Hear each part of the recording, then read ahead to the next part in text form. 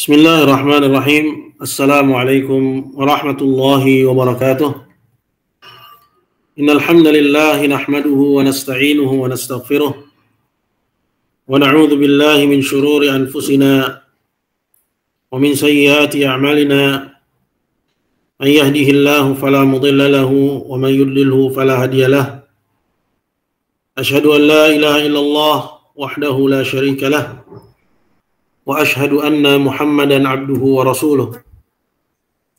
يا أيها الذين آمنوا اتقوا الله حق تقاته ولا تموتن إلا وأنتم مسلمون. يا أيها الناس اتقوا ربكم الذي خلقكم من نفس واحدة وخلق منها زوجها وبث منهما رجالا كثيرا ونساء واتقوا الله الذي تساءلون به والأرحام. إن الله كان عليكم رقيبا. يا أيها الذين آمنوا اتقوا الله وقولوا قولا سديدا. يصلح لكم أعمالكم ويغفر لكم ذنوبكم. ومن يطع الله ورسوله فقد فاز فوزا عظيما. أما بعد فإن أصدق الحديث كتاب الله تعالى. وخير الهدي هدي محمد صلى الله عليه وسلم. وشر الأمور محدثاتها فإن كل محدثة بدعة وكل بدعة ضلالة وكل ضلالة في النار عاذني الله وإياكم من النار Hadirin ikhwah saudara-saudaraku yang dimuliakan Allah Subhanahu wa taala puji syukur kita panjatkan kehadirat Allah Subhanahu atas limpahan nikmatnya dan curahan karunia-Nya kepada kita semua. Kembali di pagi hari ini kita akan menyambung lagi pembahasan dari pembacaan Asyah kitab Al-Usul Al-Thalatha yang ditulis oleh Syekh Abdurrahman bin Qasim rahimahullah. Pada pertemuan yang lalu kita membahas tentang tiga pilar dalam beragama yang merupakan mukaddimah yang kedua dari dua mukaddimah sebelum masuk ke dalam al-usul ats-tsalatsa. Nah, tiga pilar ini seperti yang sudah dijelaskan, yang pertama adalah hal yang berkaitan dengan kewajiban mentaati Nabi Shallallahu alaihi wasallam, mengikuti Rasul Shallallahu alaihi wasallam. Kemudian yang kedua yaitu perihal sunnah, perihal tauhid. Yang kedua adalah perihal tauhid yaitu kewajiban untuk menauhidkan Allah Subhanahu wa taala. Nah, di pilar yang ketiga ini adalah tentang al-wala wal bara, itu membangun uh, sikap loyal kepada sesama mukminin dan anti loyalitas kepada orang-orang kafir. Nah, jadi di poin yang ketiga ini dijelaskan bahwa orang yang sudah menaati Rasul, menauhidkan Allah, dia harus punya loyalitas. Ya, dia harus punya loyalitas. Loyalitas itu dibangun di atas prinsip yang dua tadi. Ya, dibangun di atas prinsip sunnah dan tauhid. Ya, bukan loyalitas dibangun di atas yang lainnya. Ya, siapa pun dia yang menauhidkan Allah, mentaati Rasulullah, wajib bagi kita untuk ya memberikan loyalitas kesetiaan kepadanya. Kita baca poin yang ketiga ya. Kata penulis Ats-Tsalitsatu anna man ata'a ar-rasula wa wahhada Allah la yajuzu lahu muwalatu man hadda Allah wa rasulah walau kana aqraba qaribin. Yang artinya poin yang ketiga bahwa barang siapa yang telah mentaati Rasul, ini yang pertama ya. Kewajiban mengikuti Rasul. Wa wahhadallah dan menauhidkan Allah ini poin yang kedua, kewajiban menauhidkan Allah. Barang siapa yang seperti ini keadaan dia, la yajuzu muwalatu man wa rasulah. Gak boleh bagi dia memberikan mualat, memberikan loyalitas, kesetiaan, memberikan wala kepada orang-orang yang memusuhi Allah dan Rasulnya. Walau kana aqraba qaribin, walaupun yang memusuhi Allah dan Rasulnya itu kerabat dia yang paling dekat. Artinya, bahwa orang yang menauhidkan Allah, menaati Rasul, dia juga harus paham ke mana dia memberikan kesetiaan. Nah, kadang seorang selamat di poin yang pertama dan yang kedua, tapi nggak selamat di poin yang ketiga. Dia menauhidkan Allah, dia begitu juga mentaati Rasul, namun walaknya berantakan. Ya, loyalitasnya dia berikan kepada orang-orang yang memusuhi sunnah, orang-orang yang musuhi tauhid, bahkan terang-terangan musuhi tauhid, dia berikan juga loyalitasnya. Ya, bahkan orang-orang tersebut bukan kerabat dekatnya. Kalau kerabat dekatnya saja nggak boleh dia berikan loyalitas, cintaan, kesetiaan, nggak boleh dia berikan itu. Maka apalagi kalau dia itu bukan kerabat dekatnya. Uh, nanti akan dibacakan dalilnya. Ya, namun sebelum kita bawakan dalilnya, seperti biasa kita ya lihat dulu keterangan dari Syekh Abdurrahman bin Qasim rahimahullah. Beliau berkata, "Ai al-mas'alatu tsalitsatu." Kata Syekh Abdurrahman, perkara yang ketiga, minal masail tsalats dari tiga persoalan allati yajibu 'alal mukallafi ma'rifatuha yang wajib atas seorang mukallaf jin dan manusia. Untuk dia mengetahuinya wa'tiqaduha kemudian meyakininya wal amalu bimujibiha serta mengamalkan kandungannya. Jadi bukan sekedar tahu bukan sekedar nih kita tahu belajar ya kemudian kita nggak meyakini kebenarannya tapi harus diyakini kebenarannya dan juga harus disertai dengan seorang mengamalkan kandungannya.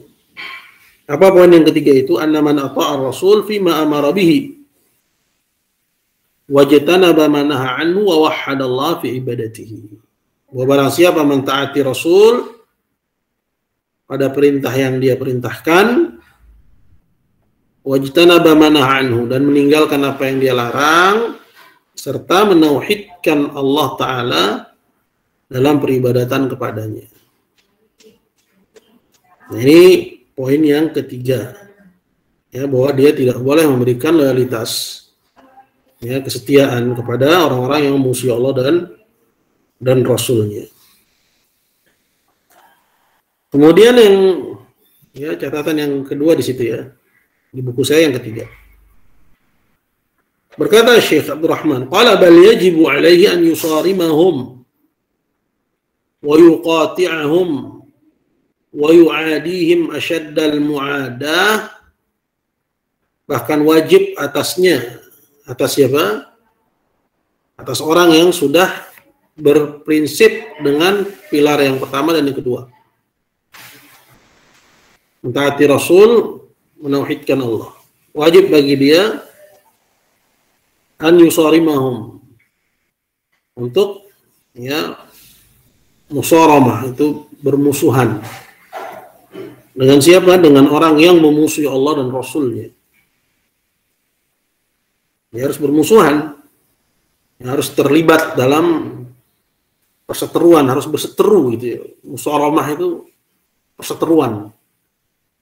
Nggak boleh santai-santai. Seolah-olah nggak terjadi apa-apa. Agamanya dihina, agamanya dicela, dia santai. Yang penting ya pribadi saya katanya. Yang penting privasi saya nggak nggak diusik. Ini namanya orang nggak peduli sama agama. Ya. Jadi bukan sekedar nggak boleh diam berwala, dia juga nggak boleh diam.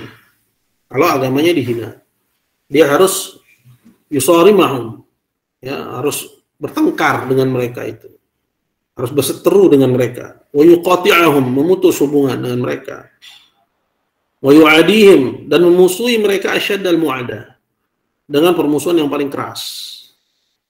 Ya, jadi itu konsekuensi dari seorang yang menaati Allah atau menaati Rasul dan menauhidkan Allah Azza wa Jalla. Ya, kemudian Syekh Abdurrahman menerangkan siapa sih orang yang disebut ya orang yang mengusui Allah dan Rasulnya Qala wal muhaduna lillah.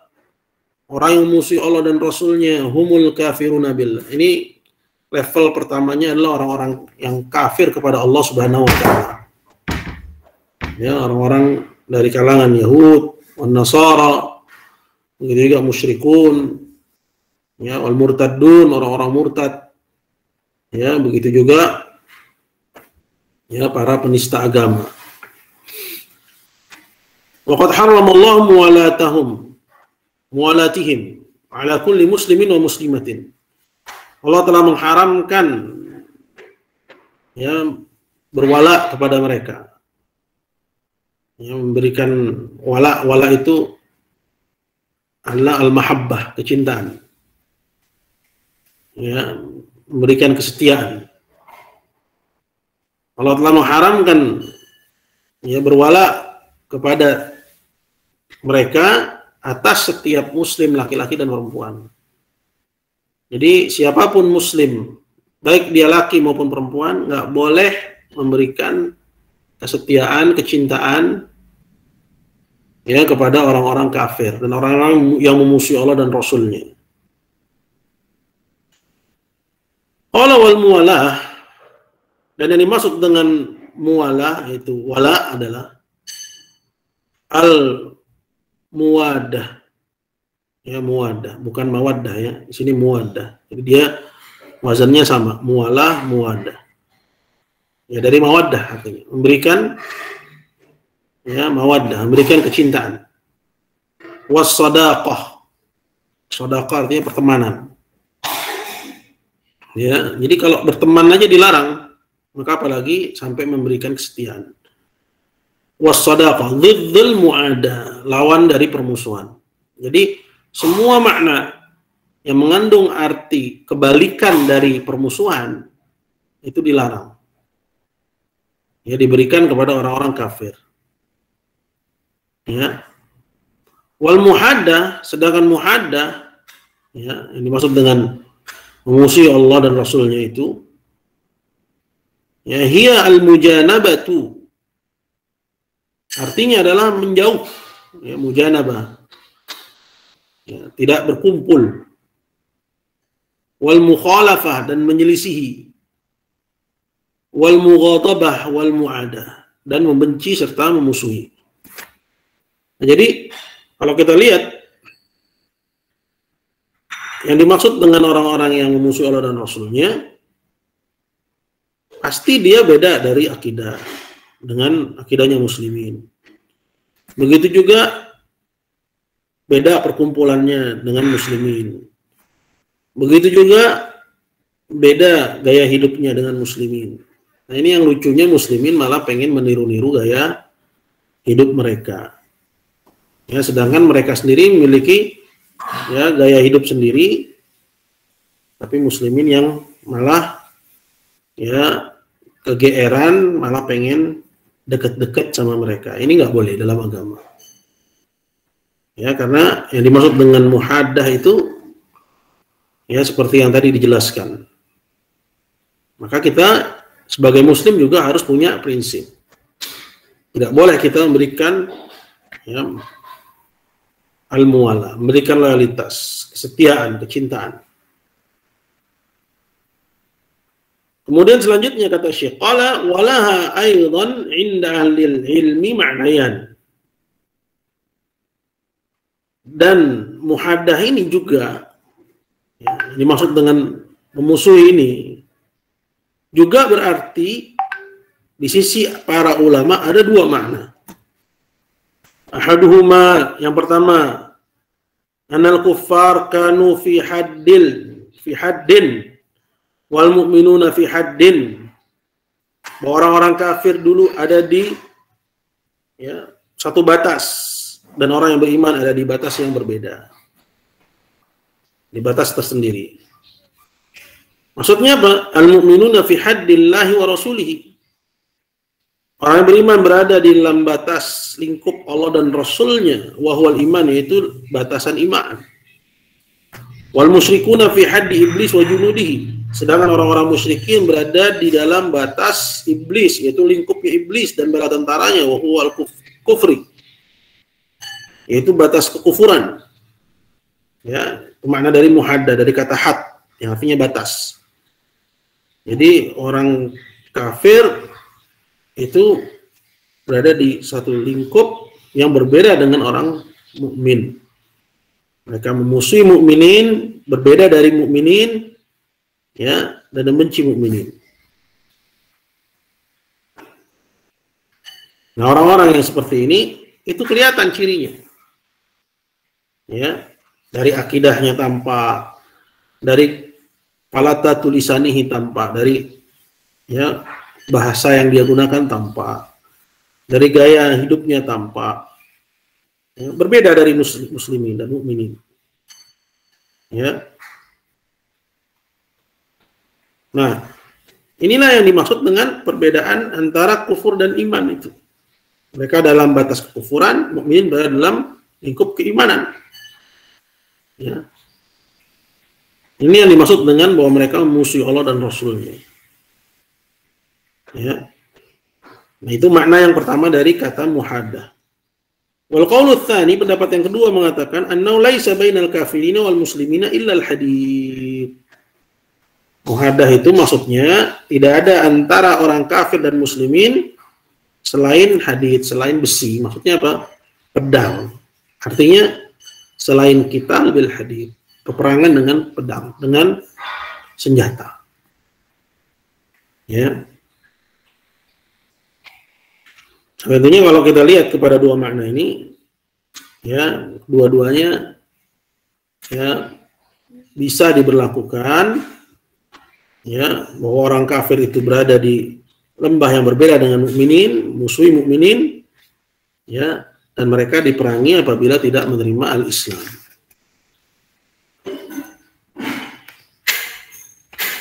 Kemudian kita kembali kepada matennya. Pada maten dikatakan walau kana akraba qaribin katanya. Jadi nggak boleh bagi seorang mukmin ini yang dia mentaati Rasul dan menauhidkan Allah Nggak boleh bagi dia untuk memberikan kesetiaannya, kecintaannya, ya, kebersamaannya. Ya, kepada siapa? Yaitu kepada orang yang memusuhi Allah dan Rasulnya. Tadi permusuhan sudah dijelaskan maknanya. Walaupun yang memusuhi Allahnya itu misalnya yang paling dekat dari keluarganya, bapaknya sendiri. Ya, atau ibunya sendiri. Atau kerabatnya sendiri nggak boleh. Kata Syekh Abdul Rahman, ay walau kana man haddallahu wa rasulahu ibnu Maksudnya walaupun orang yang memusuhi Allah dan Rasulnya itu adalah anakmu, anakmu sendiri. Nah, nggak boleh kamu memberikan kesetiaan, kecintaan kepada anakmu. Kenapa? Karena dia telah memusuhi Allah dan Rasulnya. Itu konsekuensi dari iman. Au abaka atau bapakmu sendiri, au akhaka atau saudaramu sendiri, au asyirat. Atau keluargamu, kabilahmu, bangsamu. Ya, jadi kalau suatu bangsa itu lebih memilih, memilih kekufuran daripada keimanan, maka kita nggak boleh berada dalam batasan mereka. Ya, nggak boleh kita berada dalam lingkup mereka. Kita harus di luar mereka. Karena mereka memilih jalan kekufuran daripada keimanan.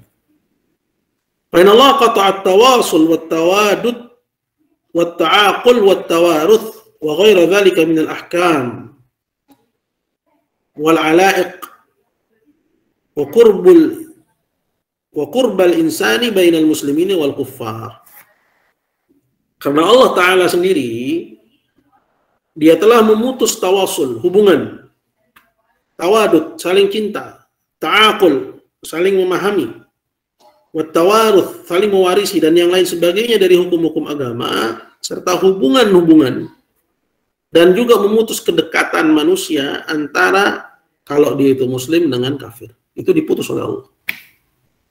Bahwa persaudaraan itu hanya sesama muslimin. Ya. Hubungan itu hanya sesama muslimin. Tawadud saling mencintai itu hanya kepada sesama muslimin. Saling ya memahami itu hanya sesama muslimin. Waris mewariskan dan hukum lainnya hanya sesama muslimin. Ya, adapun kepada orang kafir Allah Azza wa Jalla telah putus. Jadi sekalipun dia itu adalah anakmu sendiri, dia nggak mewarisi. Kenapa? Misalnya dia kafir kepada Allah. Atau bapaknya kafir, anaknya muslim. Ya Allah putus hubungannya. Ya, kita ingat ketika Nuh alaihissalam ya minta kepada Allah agar Allah menyelamatkan anaknya. Dia bilang, Ya Rabbi inna bni min ahli. Wahai Rabbku, sungguhnya anakku ini bagian dari keluar bagian dari keluargaku. Wa inna wa'dakal haq dan sungguhnya janjimu adalah benar. Apa kata Allah? Innahu laisa min ahlik, innahu amalun ghairu salih. Dia itu bukan keluargamu karena amalan perbuatannya bukan amalan orang yang soleh. Diputus oleh Allah. Itu Nabi. Hubungan Nabi dengan anak ini putus. Ya. Begitu juga ketika Nabi Ibrahim ya yang mendoakan ayahnya. Ya, Allah Azza wa Jalla larang untuk mendoakan ayahnya yang mati di atas kekufuran. Ya. Seperti yang Allah Azza wa Jalla firmankan, "Wa makana dua Ibrahim illa an mau'idatin wa'adaha iya falamma tabayyana lahu adu annahu aduwwu lillahi tabarra'a min." Dan tidaklah doa Ibrahim kepada ayahnya itu melainkan janji yang pernah dia ucapkan. Tapi ketika telah jelas bagi Ibrahim bahwa bapaknya itu musuh Allah, tabarra amin. Ibrahim pun berlepas diri darinya. Begitu juga Nabi kita, ya minta izin kepada Allah untuk mendoakan orang tuanya, mendoakan ibunya. Dilarang oleh Allah Subhanahu wa taala. Kemudian minta izin kepada Allah untuk menziarahinya maka diizinkan. Jadi persoalan tawadud, persoalan ya uh, mualah, saling cinta, saling ya mengasihi, ya memberikan kesetiaan ini semua tidak boleh diberikan ya oleh seorang muslim kepada orang kafir. Jadi dari sini kita mengetahui bahwa ikatan keislaman itu lebih kuat daripada ikatan kebangsaan. Antum yang ada di Malaysia misalnya. Antum mukmin, kita seakidah, antum lebih berhak ya menerima ke, kecintaan dari kami. Begitu juga sebaliknya daripada orang-orang yang ada di negeri kami atau bahkan dia keluarga kami yang dia itu kafir kepada Allah dan Rasulnya. Ya. Yang dia itu murtad atau misalnya menista agama. Ya antum beriman antum saudara kami. Ya. Loyalitas di antara sesama mukminin persaudaraan antara sama muslimin itu lebih kuat dibandingkan dengan unsur kebangsaan. Ya. Bahkan Syekh bin Bas itu punya buku namanya Naqdul Qaumiyah. Membatalkan qaumiyah. Ya. Fanat, fanatisme kebangsaan itu.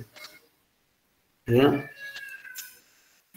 Jadi tidak ada dalam Islam itu fanatisme kebangsaan, fanatisme kesukuan enggak ada. Kita hanya fanatis fanatik kepada agama, pada keimanan. Bahwa saudara kita adalah orang-orang yang beriman. Adapun orang yang tidak beriman kepada Allah, kalau dia memusuhi Allah dan Rasulnya, maka Allah karamah. Nggak ada penghormatan kepadanya sama sekali. Ini yang harus dipegang. Ya. Dan nasionalisme, ya, nasionalisme itu bertentangan dengan agama kalau tidak dibangun di atas iman.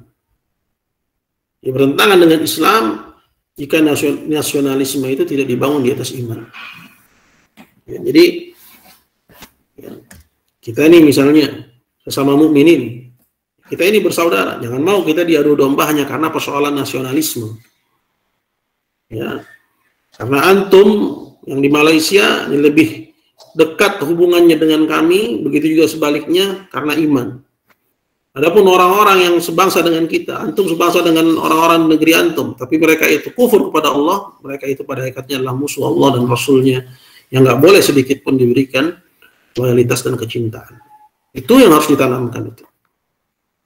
Ya, jadi nasionalisme itu harus dipahami dalam konteks iman, dalam lingkup keimanan kepada Allah dan Rasulnya.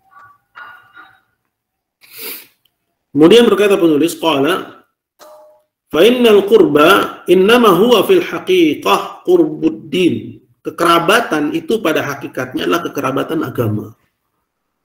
Kerabat itu artinya diambil dari kata qurb, kedekatan.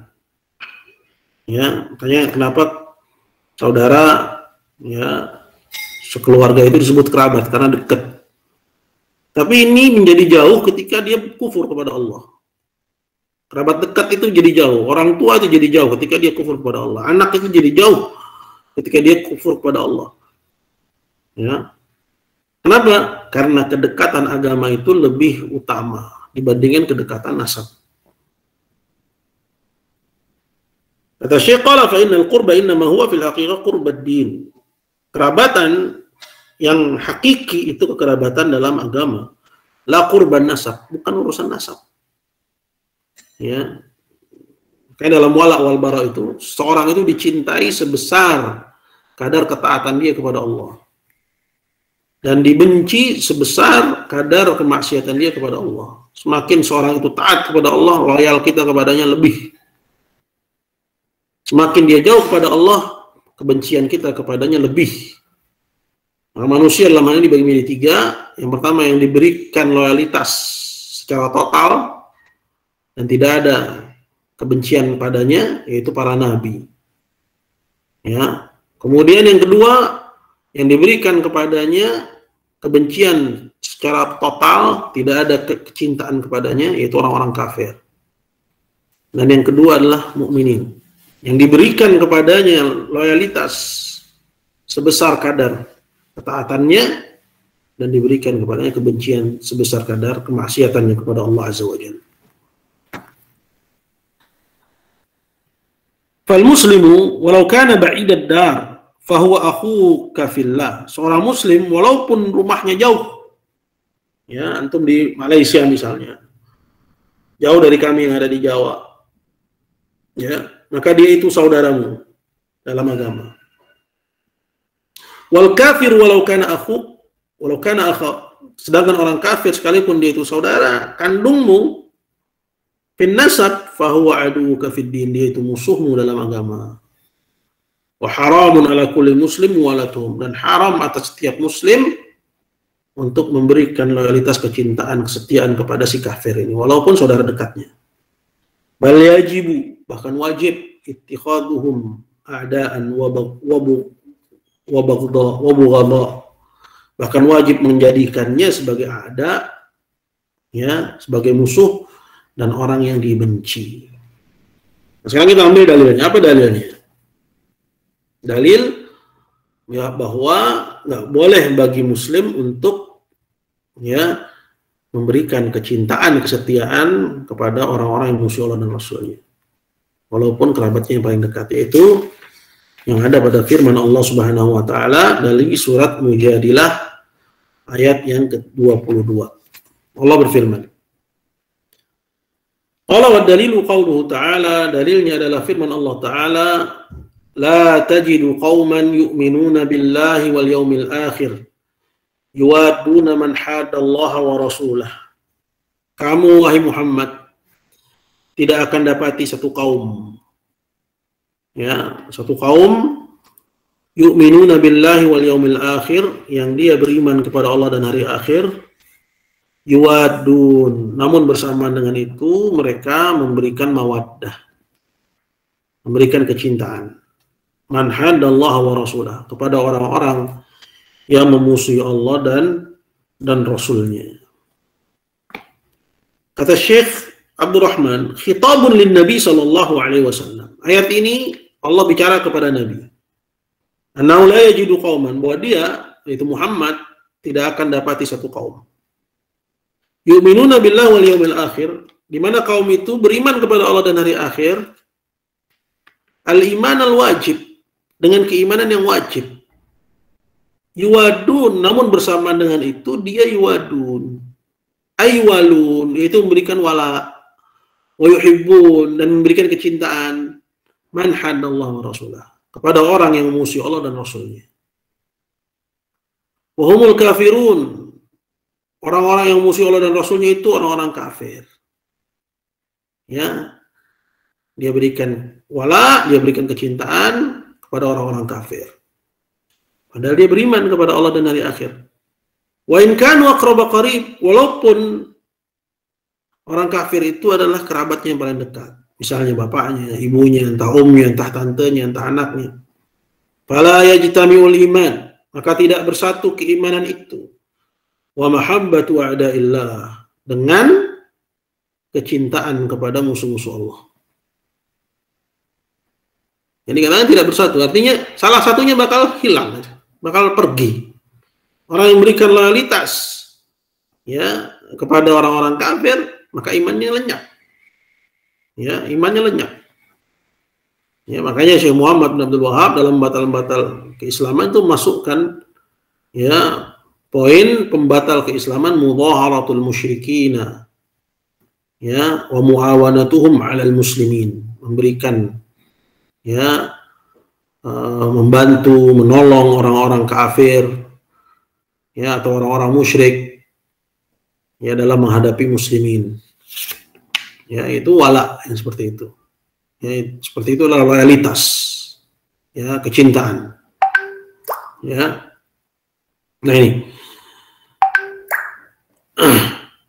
selanjutnya berkata penulis qala bal la tajidul mu'minina illa muhaddin Ya, jadi setelah dibilang bahwa tidak akan bersatu iman itu dengan kecintaan kepada musuh Allah, kata penulis, bahkan kamu nggak akan dapati orang beriman itu melainkan. Ya. Artinya ya orang yang beriman ya kayak begini gitu.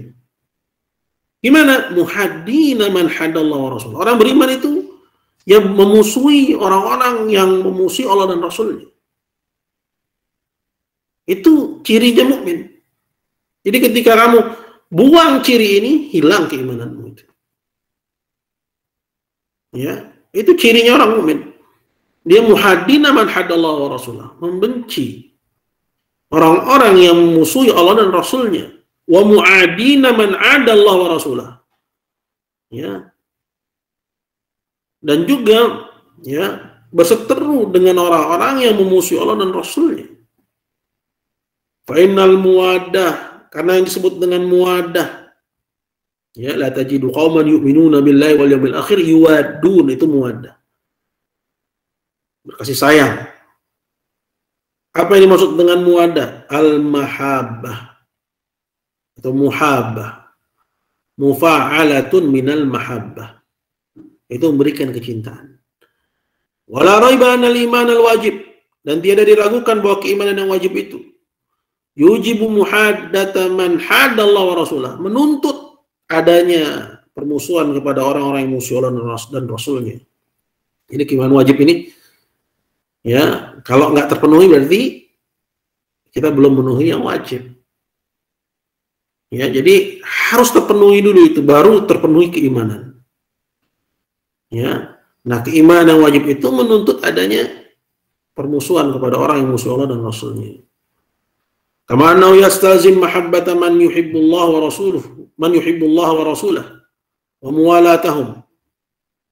Sebagaimana iman wajib itu juga menuntut adanya kecintaan kepada orang yang mencintai Allah dan Rasulnya dan menuntut adanya kesetiaan kepada mereka. Jadi kepada orang yang cinta kepada Allah kita harus cinta kepada dia. Pada orang yang benci Allah kita harus benci kepada dia. Itu yang namanya wala wal bara yang benar.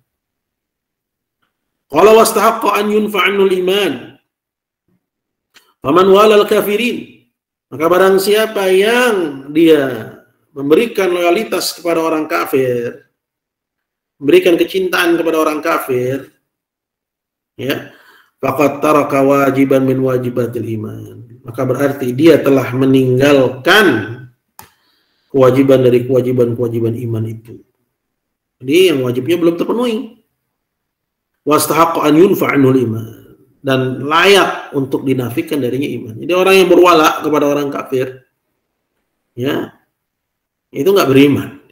Nggak beriman berarti dia kafir. Ya. Kama fin nusus bagaimana yang ada dalam nas-nas Al-Qur'an. Ya. Wa kadza man taraka muwalatal mu'minin. Ya, maka sebagaimana nggak boleh mencintai orang-orang kafir, nggak boleh juga meninggalkan kesetiaan pada mukminin. Wa kadza man taraka muwalatal mu'minin. Begitu juga yang meninggalkan untuk setia kepada mukminin. Faqad taraka wajiban min wajibatil iman. Berarti dia telah meninggalkan kewajiban dari kewajiban-kewajiban iman an yunfa'anul iman dan berhak untuk dinafikan darinya keimanan. Jadi kita hati-hati di sini. Jangan sampai kita salah mencintai dan salah membenci. Orang yang beriman wajib dicintai. Ya, Orang yang kufur yang wajib adalah dibenci. Wala wala yalzam min nafi anhum an yantafi bil kulliyah. Tapi bukan berarti dinafikan darinya iman itu dinafikan keseluruhannya. Ya, artinya serta merta orang itu menjadi kafir ya tapi tergantung kepada ya kondisinya. Ya, kalau sampai kepada taraf ya membantu orang-orang kafir dalam menghadapi muslimin maka ini pembatal keislaman sehingga walaknya dia kepada orang kafir itu membatalkan tapi kalau kurang dari itu ya maka bihasabih ya sesuai dengan kondisinya masing-masing nah kemudian kita lanjutkan bacaan ayatnya kemudian kata Allah azza wa jalla Walau kanu walaupun yang memusuhi Allah dan Rasulnya itu bapak-bapak mereka sendiri. Au abna'ahum, atau anak-anak mereka sendiri. Au ikhwanahum, au ashiratahum. Atau saudara mereka sendiri, atau ashirah, yaitu ya, kerabat dan kabilahnya sendiri. Jadi nggak boleh ada fanatisme kebangsaan, nggak boleh ada fanatisme ya uh, kesukuan, ya, apalagi fanatisme alma mater atau fanatisme apalah gitu ya. Nah, fanatisme-fanatisme seperti ini itu ya jahiliyah sebagaimana yang Nabi SAW katakan dalam sebuah hadis da'uha fa muntinah ya, ketika muhajirin dan ansor saling lempar-lemparan batu yang muhajirin memanggil sama muhajirin ya muhajirin katanya ayo Para muhajirin pada ke mana nih? Yang Ansor juga memanggil sama mereka. Ya lal Ansor. Lalu Nabi mengatakan, Abi da'wal jahiliyati wa ana baina adhurikum. Apakah dengan panggilan jahiliyah di sini kalian saling panggil memanggil sedangkan aku aja masih ada di tengah kalian. Da'uha, tinggalkan panggilan-panggilan itu fa innaha muntinah karena itu busuk kata Nabi. Jadi seperti itu ya apalagi fanatisme ini muhajir wal ansor namanya ada dalam Quran. Yang namanya disebutkan dalam Al-Quran. Apalagi fanatisme kepada slogan-slogan yang entah dari mana juntrungannya kesukuan yang hanya kebetulan dari satu kabilah ya kebangsaan kebetulan ada satu wilayah ya. Jadi jangan mau dipersempit ya. Persaudaraan kita yang luas sesama mukminin dipersempit jadi ya hanya persaudaraan sebangsa atau yang lainnya. Nah, kemudian kata penulis di sini yuwaduna man hadallah wa rasulah. Bahwa orang yang beriman kepada Allah dan hari akhir itu mereka tidak berkasih sayang dengan orang-orang yang memusuhi Allah dan Rasulnya. Walau kanul akrabin, walaupun yang memusuhi Allah dan Rasulnya itu kerabatnya. Kama qala ta'ala, seperti yang Allah Ta'ala katakan, La yattakhidil mu'minuna al-kafirina awliya. Orang yang beriman itu tidak mengambil orang-orang kafir sebagai awliya. Sebagai asdiqa wa ashab. Sodik ya sebagai teman sahabat ya tapi muamalah ya boleh ya jualan ya kontrak ya.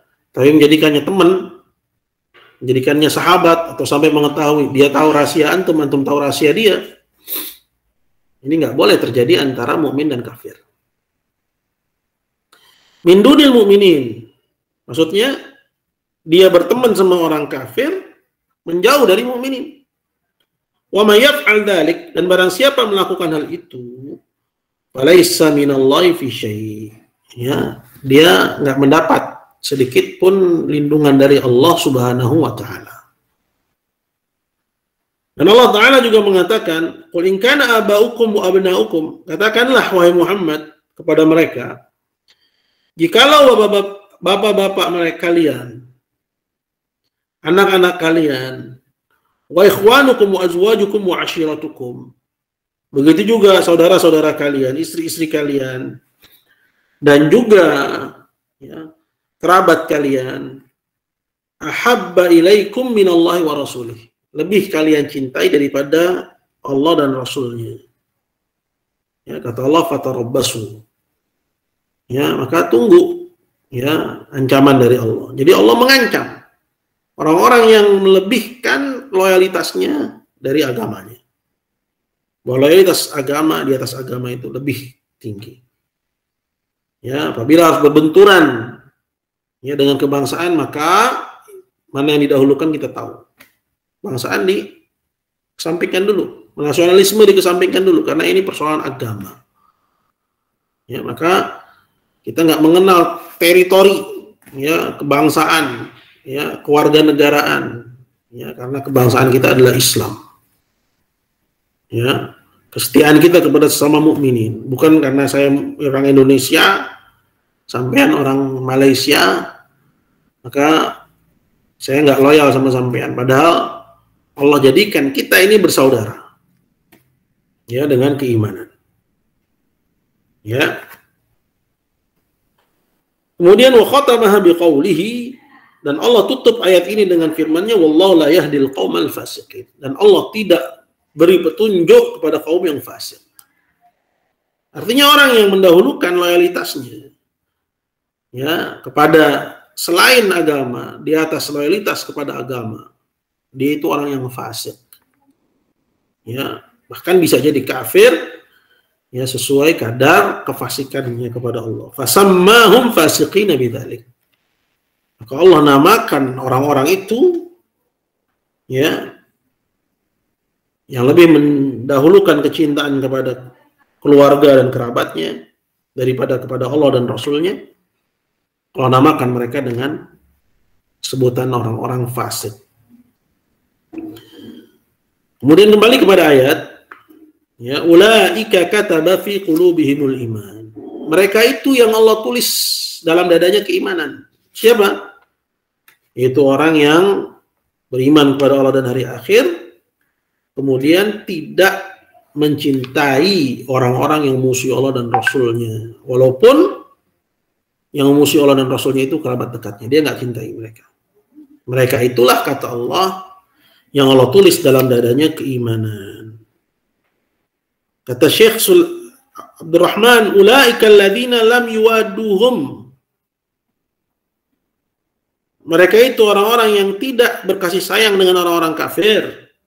Athbatallahu fi qulubimul iman wa arsah. Allah tancapkan dalam dada mereka itu keimanan. Faya mukinatun mukhlisah. Dia itulah orang yang yakin dan ikhlas. Wa katabalahum sa'adah. Allah berikan kepadanya kebahagiaan wa al iman fi basairihim dan Allah hiasi iman itu dalam pandangan mereka. Wa yadahum biruhin min dan Allah ya tolong mereka dengan ruh darinya. Jadi ya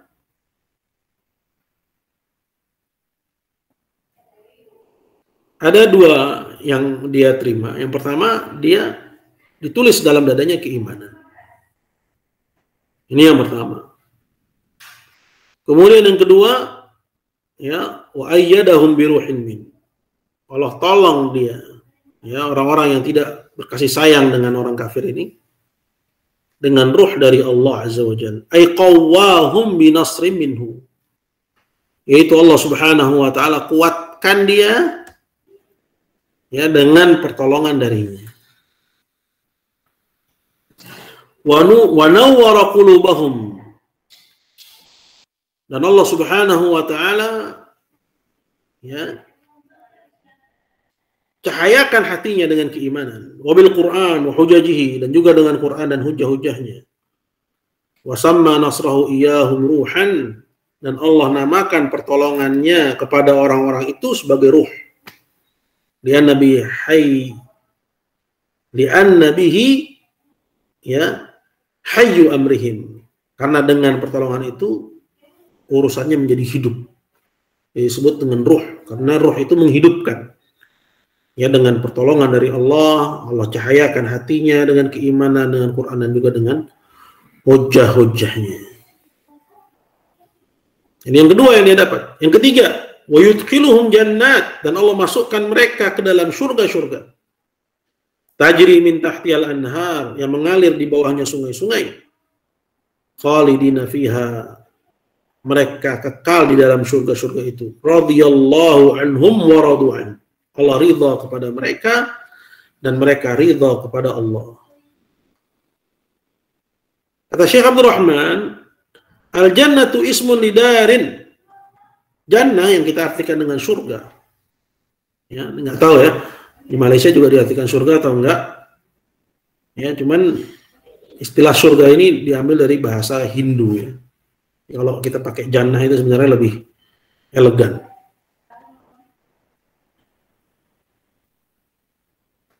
Al-jannatu ismun. Jannah itu adalah nama. Lidarin jama'at anwa'an na'im. Untuk sebuah negeri yang menghimpun beragam macam kenikmatan. Alati alaha an-nadharu ila wajhillahil karim. Yang mana nikmatnya yang paling tinggi itu adalah melihat kepada wajah Allah yang maha mulia. Wa yudkhiluhum dan Allah masukkan mereka ayuskinuhum Allah jadikan mereka tinggal di situ. Jannatin di surga-surga fi dari karamatihi di negeri yang Allah muliakan. Allati uiddat lil muttaqin yang Allah berikan kepada orang yang bertakwa. Wa summiyat bismil basatin. Ya kemudian negeri itu dikasih nama dengan nama kebun karena jannah itu ya itu ya nama lain dari kebun li'annaha asjarun muthmirah karena di jannah itu ada pepohonan yang berbuah, wa anharun jariyah, sungai-sungai yang mengalir, wa kusurun aliyah dan istana-istana yang tinggi. Tajri min tahti asjariha wa masakinihimul miyah mengalir di bawah pepohonan dan juga tempat-tempat tinggal penghuninya air dari sungai-sungai. Wafil hadis dan dalam hadis dikatakan anharul jannati fi ghairi ukhdud. Sungai-sungai surga itu tanpa parit. Tanpa parit. Artinya mengalir tanpa parit. Khalidina, mereka kekal di dalamnya daimin, selamanya fiha la yabghuna anha hiwala dan mereka nggak mau pindah darinya. Karena ya semua kenikmatan sudah diberikan kepadanya. Siapa? Orang yang merealisasikan iman tadi.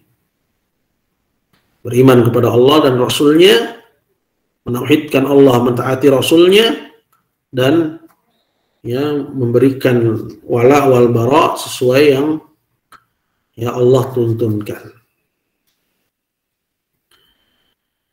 Kemudian yang dia, mereka dapatkan berikutnya waradu'an ya radhiyallahu anhu waradu anhu Allah ridha kepada mereka dan mereka pun ridha kepada Allah. Kata Syekh Abdul Rahman wa hadha a'la maratibin na'im. Inilah tingkat kenikmatan yang paling tinggi.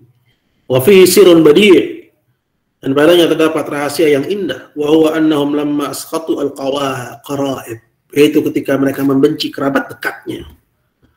Wal asyair. Kabilah-kabilahnya karena Allah di jalan Allah. Karena mereka kufur kepada Allah misalnya awadahumullahu birridha Allah ganti ya dengan keridhaan darinya. Wardahum anhu dan Allah jadikan mereka ridha kepada Allah. Bima atahum minan na'imul muqim. Dengan nikmat yang Allah anugerahkan kepada mereka yang abadi. Wal fawzul azim. Dan kemenangan yang besar. Wal fadlul amim dan karunia yang luas. Allah ganti.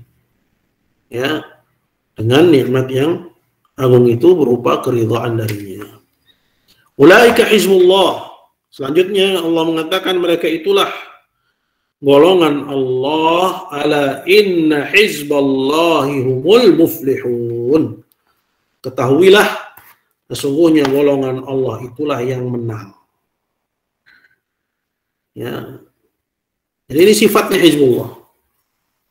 Ya, mereka menauhidkan Allah, menaati Rasul dan loyalitas kepada sesama ya muslimin dan mukminin yang menaati Allah dan menauhidkan Allah dan menaati Rasul. Kata Syekh Abdul Rahman, qal, "Lamma dzakara hadhihi an-ni'am, atba'ahu bima yujibu tarkal muwala li a'da'illah." Faqala ulaik.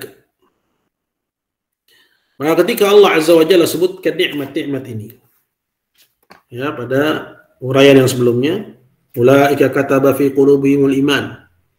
Mereka itu orang-orang yang Allah tulis dalam dadanya keimanan. Wa ayyadahum bi ruhin min. Allah tolong dengan bantuan dari sisinya. Wa yudkhiluhum jannat. Allah masukkan dia ke dalam surga. Radhiyallahu anhum. Allah ridha kepadanya.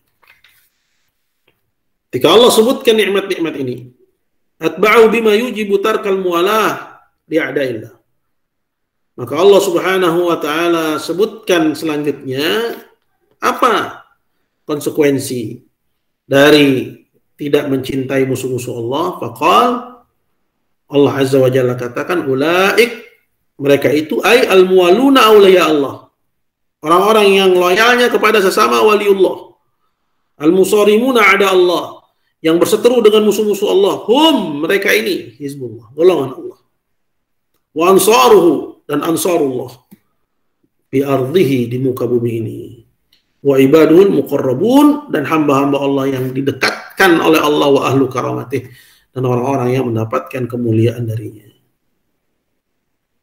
Ala inna hizballahi humul muflihun. Ketahuilah sungguhnya golongan Allah mereka lah yang menang. Ay al-faizun yang sukses. Yang berhasil yang jaya di dunia wal akhirah, di dunia dan di akhirat. An-najuna yaumal qiyamah, selamat nanti di hari kiamat. Fil hadis dan dalam hadis dikatakan Allahumma la taj'al li fajirin wala li fasiqin indiyada. Ya Allah jangan engkau jadikan bagi orang fajir begitu juga orang fasik ya jasa untukku. Wala ni'matan begitu juga nikmat untukku melalui orang fajir dan orang fasik. Ini wajatu fima auhaitahu ilayya. Karena aku dapati pada wahyu yang kau berikan kepada kula tajidu qauman yu'minuna billahi wal yawmil akhir. Engkau tidak akan dapati satu kaum yang beriman kepada Allah dan hari akhir berkasih sayang dengan orang-orang yang musuh Allah dan Rasulnya. Ini Nabi ya sampai berdoa biar nggak ada rasa ya kecondongan kepada orang kafir. Gimana? Jangan sampai orang kafir itu punya jasa kepada kita. Jadi kalau ada orang kafir berbuat baik bukan ditolak. Ya, ada orang kafir berbuat baik balas kebaikannya. Biar dia nggak merasa berjasa kepada kita dan kita juga nggak punya utang jasa sama dia. Bukan ditolak. Kalau ditolak itu ya namanya ya kita akan menjauhkan dia dari Islam. Ya, kita akan tertuduh Islam itu agama yang tidak tahu terima kasih dan semisalnya. Tapi diterima ya. Selagi niatnya itu bukan niat yang buruk diterima namun balas. Balas dengan yang lebih baik. Ya tujuannya apa? Agar jangan sampai kita yang punya hutang jasa kepada dia. Biarin dia yang punya hutang jasa kepada kita. Wa maka tampaklah dengan ini semua annau yajibu ala kulli muslim. Bahwasanya wajib bagi setiap muslim muqata'atul musyrikin memutus hubungan dengan orang-orang musyrikin, orang-orang kafir, wa munabadzatuhum dan mencampakkan mereka. Ya, jadi ini poin yang ketiga tentang wala wal yang merupakan konsekuensi dari keimanan kepada Allah dan ketaatan kepada Rasulnya Sallallahu Alaihi Wasallam. Insyaallah ini yang bisa saya sampaikan. Tafadhal jika ada pertanyaan.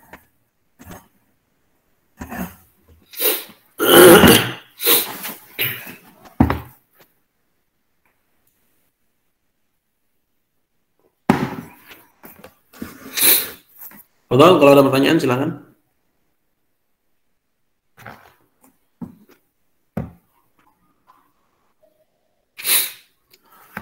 Baik, ada pertanyaan ya. kalau nggak ada, kita cukupkan aja sampai di sini. Semoga ada manfaatnya. Kurang lebihnya saya mohon maaf.